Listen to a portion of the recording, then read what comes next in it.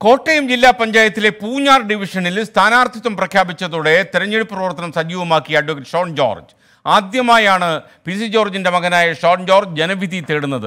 പൂഞ്ഞാർ നിയമസഭാ മണ്ഡലത്തിൽ P C ജോർജിന് പിൻഗാമിയാകാനുള്ള ഒരുക്കമായിട്ടാണ് ഷോൺ ജോർജിന്റെ സ്ഥാനാർത്ഥിത്വം പൊതുവെ വിലയിരുത്തപ്പെടുന്നത്.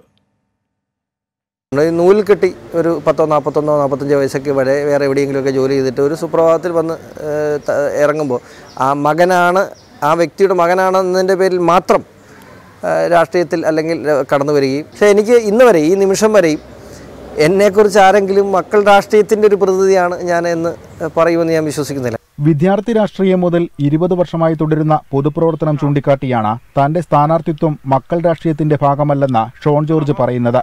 നിയമസഭാ തെരഞ്ഞെടുപ്പിൽ ഇക്കുറി പി സി ജോർജ് മത്സരിക്കില്ലെന്നും ഷോൺ ജോർജ് പകരക്കാരനായി എത്തുമെന്നും അഭ്യൂഹമുണ്ടായിരുന്നു.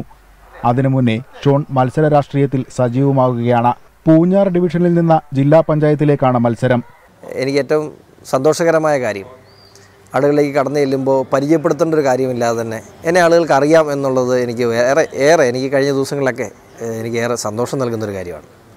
ജനപക്ഷം മുന്നണികളുടെ ഭാഗമാകാതെ സ്വതന്ത്രമായി മത്സരിക്കാനുള്ള കാരണവും ഷോൺ ജോർജ് ജനങ്ങളോട് തുറന്നു പറയും. വ്യക്തിപരമായ ചില വൈരാഗ്യങ്ങൾ അതായിരുന്നു ചില വ്യക്തികൾ വ്യക്തികളുടെ നിലപാട്. ഒരു പാർട്ടിയെ ഞാൻ കുറ്റം പറയാൻ ആഗ്രഹിക്കും ചില വ്യക്തികളുടെ നിലപാട് അതാണ്.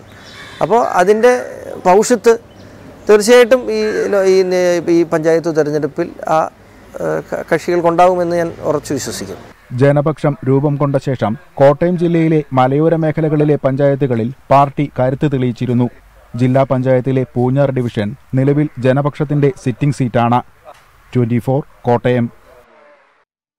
Shone George P C ജോർജിന്റെ മകൻ മാത്രമല്ല മറ്റൊരു കാര്യം കൂടി അദ്ദേഹത്തെ നമുക്ക് തിരിച്ചറിയാനായിട്ട് അടയാളപ്പെടുത്താം. നമ്മുടെ പ്രിയപ്പെട്ട അമ്പിളിച്ചേട്ടന്റെ ജഗദീഷ് ശ്രീകുമാറിന്റെ മകളുടെ ഭർത്താവ് കൂടിയാണ് ഷോൺ ജോർജ്. അപ്പോൾ കുറച്ച് കാലമായി ഷോൺ ജോർജ് ഇങ്ങനെ അണിയറയിൽ ഇങ്ങനെ ഒരുക്കങ്ങളൊക്കെ നടത്തി വരികയായിരുന്നു രാഷ്ട്രീയത്തിലേക്ക് ഇറങ്ങാനായിട്ട്. അപ്പോൾ ഇപ്പോൾ എന്തായാലും അദ്ദേഹം ഇറങ്ങാൻ തീരുമാനിച്ചു എന്നാണ് മനസ്സിലാക്കുന്നത്.